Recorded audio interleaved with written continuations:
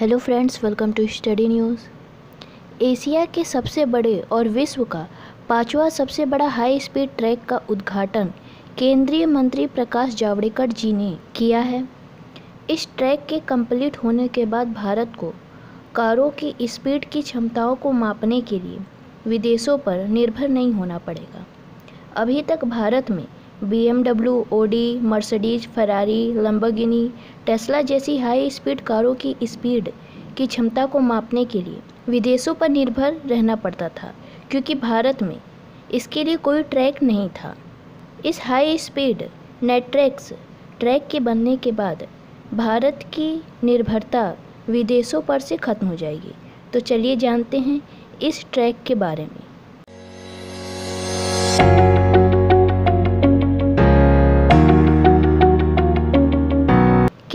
मंत्री प्रकाश जावड़ेकर जी ने मध्य प्रदेश के इंदौर में एशिया के सबसे लंबे high speed test track, national automotive test track का उद्घाटन वर्चुअल तरीके से किया।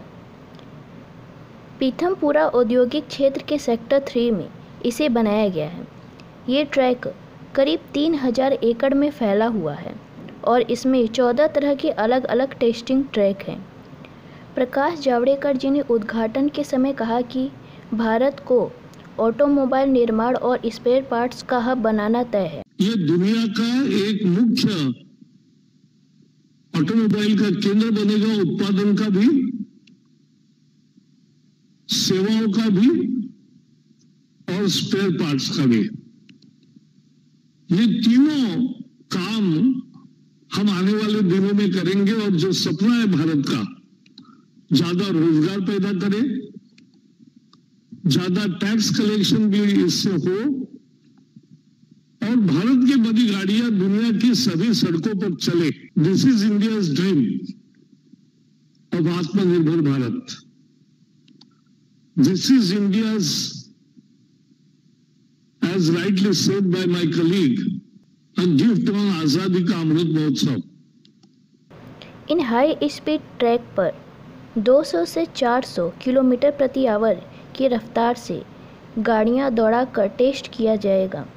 इस ट्रैक की कुल लंबाई 11.3 किलोमीटर है। इस ट्रैक पर कार्स मोटर बाइक्स भारी वाहनों का हाई स्पीड परीक्षण किया जाएगा। नेट्रैक्स सेंटर वाहनों के डायनामिक्स का एक केंद्र है। नेट्रैक्स को 1000 एकड़ की भूमि के क्षेत्र में बनाया गया है। इन ट्रैक्स पर वाहनों के कई तरह के परीक्षण होंगे। इनमें चौदह तरह के टेस्टिंग ट्रैक्स हैं, जैसे high speed track, dynamic platform, braking track, gradient track, footing track off road track, handling track, comfort track, sustainability track, twist track, washboard track, wet skid pad, noise track total 14 tracks हैं, जिन पर अलग अलग तरीके से भारी वाहनों का टेस्ट किया जाएगा। इन हाई स्पीड ट्रैकों के बनने से भारत को विदेशों पर निर्भर नहीं होना पड़ेगा।